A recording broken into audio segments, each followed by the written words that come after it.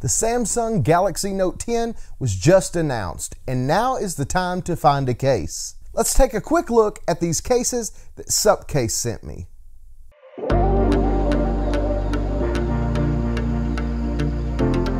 First off, let me show you one of my personal favorite cases. This is the Supcase Unicorn Beetle Pro. I have used this case on my iPhone and I absolutely love it. This case is a two-part case with the shell being made of polycarbonate and TPU. And I can tell you from experience, this case offers great drop protection. It also comes with a swivel belt clip holster that works great. Installation is easy. Just take the front of the case and pop it on the phone first.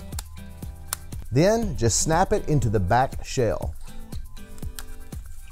The reason that I like this case over its closest competitor, which I think is the OtterBox Defender, is because of the material. While it has great grip on the sides, the case is smooth enough to slide in and out of your pockets with ease.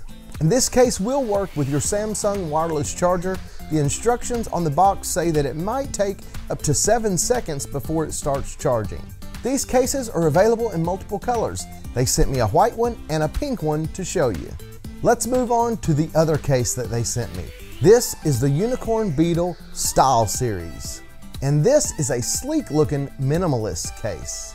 This case is made up of polycarbonate and TPU as well and offers a decent amount of protection without adding bulk to your phone. The clear back offers scratch protection for your phone. The raised edges all the way around the case offers protection for that camera lens when you go to lay the phone case down. Since it's just a one part case, installation is a breeze. Basically just snap your phone into the case.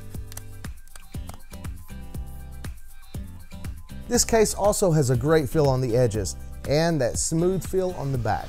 And this case is a great pairing for that curved edge display on this phone. Which one of these cases was your favorite? Let me know down in the comments below. If you want to check out the other styles and colors that Supcase has to offer, click the link in the description below. And if you want to see some more cases for your Note 10, then click the video in the end screen at the end of this video. Thanks for liking, commenting, and subscribing. And until next time, God bless.